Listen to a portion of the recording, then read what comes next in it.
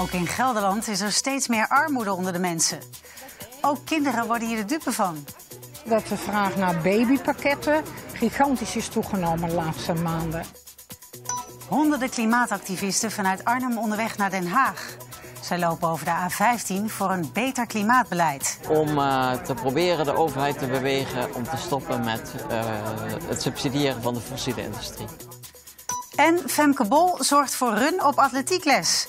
Iedereen wil horden lopen. Als wij als Nederlanders dat kunnen, dan denken die kinderen natuurlijk, waarom, uh, waarom ik niet?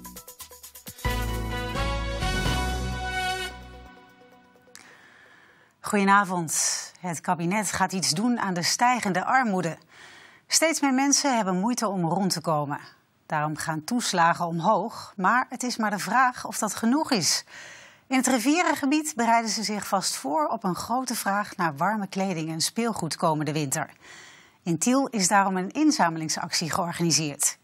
Dat is één. Geweldig. Honderden zakken met bruikbare kleding en speelgoed worden ingeleverd bij een inzamelingsactie in Tiel. Monopoly, WK-editie compleet. Kleding- en speelgoedbank Clesteo heeft steeds meer van deze spullen nodig. Want armoede neemt toe.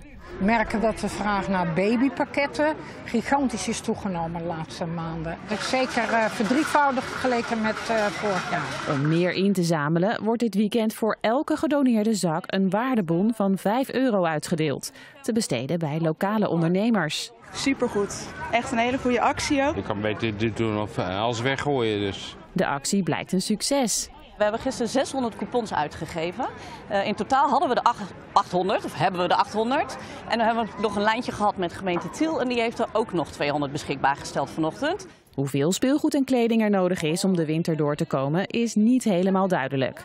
Wel dat armoede zomaar iedereen kan overkomen. Dat kan iedereen zijn. Dat kan jou en mij ook gebeuren. Door een faillissement of een echtscheiding of gezondheidsproblemen zie je heel veel. De waardebonnen worden dankbaar in ontvangst genomen. Wat ga je ervan kopen? Make-up. Waarschijnlijk, denk ik. Honderden mensen verzamelden zich vandaag op het station in Arnhem. Ze doen mee aan de klimaatmars van Extinction Rebellion. Het doel is om in zes dagen via de A12 naar Den Haag te lopen om aandacht te vragen voor een beter klimaatbeleid. Onderweg kunnen mensen aanhaken. De demonstranten willen iedere dag een traject van zo'n 20 kilometer lopen. De routes gaan van treinstation naar treinstation, zodat mensen die een dagje willen meelopen dat makkelijk kunnen doen. Vandaag zijn er ook nog groepen vertrokken vanuit Almere en Alkmaar. Uiteindelijk hopen ze zaterdag aan te komen in de Hofstad. Wij uh, lopen uh, deze week naar de A12. Volgende week is er een grote actie op en rondom de A12 om uh, te proberen de overheid te bewegen om te stoppen met uh, het subsidiëren van de fossiele industrie. Het zijn meer financiële voordelen, bijvoorbeeld voor uh, het vliegverkeer. Die hoeven geen belasting te betalen over kerosine, dus een brandstof. Terwijl wij over onze benzine natuurlijk wel belasting moeten betalen. Hoe belangrijk is het dat die kinderen dit dan ook meekrijgen? Um, ja, ik ben heel benieuwd hoe ze het vinden, maar ik hoop dat het voor hen ook gewoon iets feestelijks is. Dat je kan voelen dat je ergens voor kan staan en dat het een leuke dag kan zijn. Het is voor mij de eerste keer dat ik zo meeloop. En ik vind dit al behoorlijk impact maken door al deze hele grote groep die hier wil starten in Arnhem. En hopelijk uh, over zeven dagen in Den Haag aankomt. Ja, de problemen op de Maas zijn voorbij. De stuw bij Graven is namelijk hersteld. Vrijdag klapte bij werkzaamheden een zogeheten juk uit de constructie, waardoor er een gat in de stuw ontstond. Dat zorgde ervoor dat het waterpeil zo'n anderhalve meter zakte.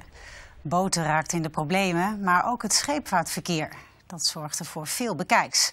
Rijkswaterstaat laat weten dat het gat is gedicht en het water weer is gestegen. Er kan dus weer gevaren worden op de Maas. Bruine bermen, vissen die op zoek zijn naar water en mislukte oogsten. Vijf jaar geleden sloeg de droogte genadeloos toe in de Achterhoek. Alle alarmbellen gingen af. Sindsdien doet het waterschap er alles aan om het water vast te houden. Maar hoe staat het ervoor en welke stappen moeten er nog gezet worden? Deze beelden uit 2018 kent u vast nog. Plaatsen van schotten en het bevloeien van het land zijn maatregelen die volgen op het neerslagtekort. Met name de boeren hebben geprobeerd het water vast te houden, maar ook andere gebieden komen nu aan de beurt. De focus zal ook wat meer verlegd gaan worden naar de natuurgebieden. Maar daarnaast hebben we ook nog een aantal grotere drinkwaterwinningen in de Achterhoek zitten. Die ook uh, heel veel grondwater, vooral uit de diepere lagen, optrekken. Ja, uh, daar kunnen we ook nog wel wat winst halen. En dat betekent dat dit soort maatregelen fors uitgebreid gaan worden. Dus ons hele gebied zal op een gegeven moment om aan de beurt komen om water vast te houden en uh, ook, maar ook water de ruimte te geven. Want ja, je ziet ook wel op de beelden, niet heel ver van ons vandaan, water kan ook een verwoestende werking hebben. Dus dat, ja, we willen ook niet alleen maar wateroverlast gaan creëren. Dus ja, ons systeem zal in de komende jaren wel aardig op de schop gaan. Wat het uiteindelijk voor u als inwoner betekent? Ik denk dat het alleen nog maar mooier gaat worden. Het zal nog wat kleinschaliger worden. Het coulissenlandschap zal weer wat uh, meer hersteld gaan worden. Uh, nu kom je in de Achterhoek wel heel erg veel grote percelen tegen. Dus uh, ik denk dat er wat meer biodiversiteit en, en variatie ontstaat. In het voorjaar moest de Achterhoek opnieuw vechten tegen de droogte. Maar door de natte zomer is het waterpeil nu op niveau. En wilt u weten waarom nou juist in deze regio de droogte extreme gevolgen heeft? Kijk dan op onze site. Sinds Femke Bol de een na de andere gouden medaille in de wacht sleept, is harde lopen ineens een stuk populairder. En dat merken ze ook op Papendal. Vooral jongeren worden blijkbaar geïnspireerd door het succes van Bol, want die melden zich ineens massaal aan. Maar daar krijgen ze nog een hele kluif aan. Voor de 400 horden moet je lef hebben. Want je moet gewoon heel hard over die horden. Sinds de gouden plak van Femke Bol loopt het storm op Papendal. Nou, we zien het terug in de inschrijvingen voor de, voor, voor de, voor de C-spelen. Bijvoorbeeld dit weekend zijn er gewoon volgens mij uit mijn hoofd 40. En die, dat getal was nooit groter. Bij het 4 meter horde komt zoveel meer kijken. Uh, goed uitkomen voor de horde. Uh, ja, je pasritme. De eerste horde nemen is het belangrijkste. Op het moment dat je die lekker pakt, dat voel je natuurlijk. Dat geeft natuurlijk een boost. Van oké, okay, weet je, de kop is eraf. De aanloopsnelheid uh, op de eerste horde bij Femke Bol is bijvoorbeeld rond 28 km per uur. Dus als je op je fietsje gaat zitten, je rijdt 28 km per uur, heb je een idee, oké, okay, met deze snelheid neemt ze, neemt ze een horde. En dat is, dat is een heel hoge snelheid. De lopers mogen alle horden omverlopen. Maar slim is dat niet. Kost je tijd en je hebt waarschijnlijk een zere knie. Je wilt die horde zo, zo laag mogelijk uh, uh, zeg maar passeren, maar hem niet raken.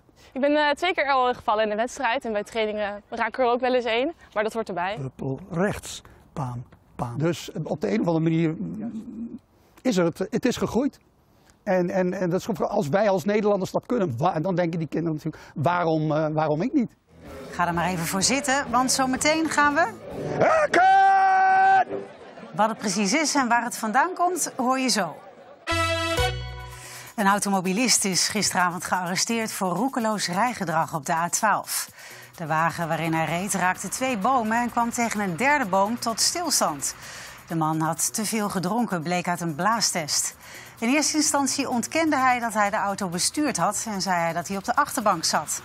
Hij wordt aangeklaagd voor rijden onder invloed en het veroorzaken van een gevaar op de weg. In Zaandam is een automobilist doorgereden na een ongeluk, waarbij twee mensen op een motor zwaar gewond zijn geraakt. De doorgereden chauffeur botste vervolgens tegen een boom, een paar honderd meter verderop. Daarna sloeg de bestuurder samen met iemand anders op de vlucht. Een van de twee is inmiddels aangehouden. Na een prachtige carrière neemt Annemiek van Vleuten uit Wageningen komende week afscheid van het wielerpeloton. Zeven grote rondes, vier wereldtitels, Olympisch goud en zilver en vrijwel alle grote klassiekers. Van Vleuten geldt als een van de grootste wielrenners, wielrensters alle tijden. Daarom nu een korte terugblik op haar carrière. Annemiek van Vleuten breekt door in 2011 met winst in de Ronde van Vlaanderen. Nederlandse wint tot haar grote vreugde de Ronde van Vlaanderen. Daarna haakt ze aan bij de wereldtop. Van Vleuten onderscheidt zich met enorme hoogtestages. Wekenlang brengt ze door op hoge toppen in Italië, Spanje of op Tenerife. Op hoogte is zo anders. Dat is echt puur de training. Dus ik rij, ga je ook niet maximaal. Ik rij alleen op gewoon capaciteit te verbeteren. De eerste echte grote zege komt pas in 2017 met de wereldtitel tijdrijden. En een jaar later wint ze haar eerste grote ronde, de Giro. Ze rijgt de overwinningen aan elkaar.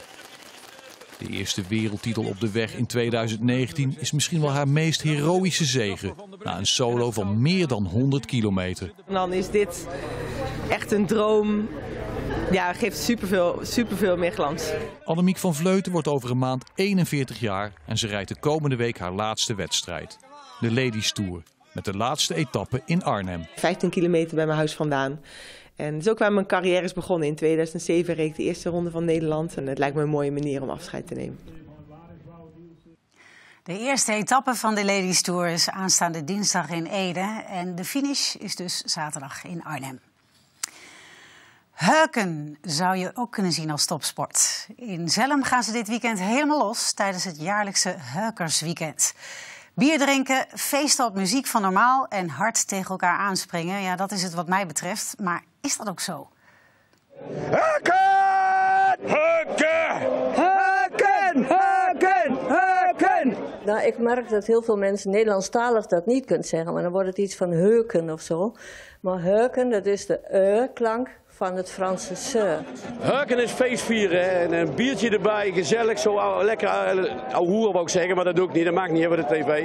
Maar gewoon gezellig met elkaar, één grote club die met elkaar dat doet. Ja, Heuken is gewoon eh, alles wat woest, onbenullig en lekker is. Zolang het maar niks met geweld of seks te maken heeft. Ja, volgens normaal is het een beetje eh, feestvieren en eh, een beetje wild doen en dansen en springen. En eh, nou, dat is het heuken. Het, mag, eh, het mag wild gewoon.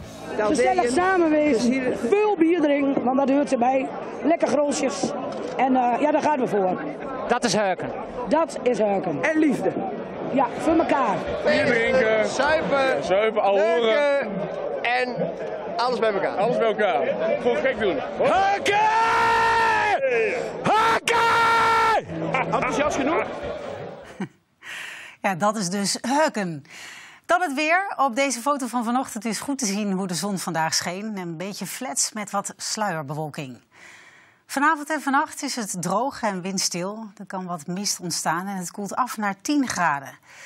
Morgenochtend verdwijnt de mist en wordt een zonovergoten dag. Met een zwakke zuidoostenwind wordt het 's middags 27 graden. En een zomers vooruitzicht. De komende dagen wordt het alleen maar warmer met temperaturen van 30 graden. Het blijft daarbij zonnig en droog. Dit was het Gelders Nieuws. Meer nieuws vind je in onze app of op onze site. Nog een hele fijne avond en graag tot morgen.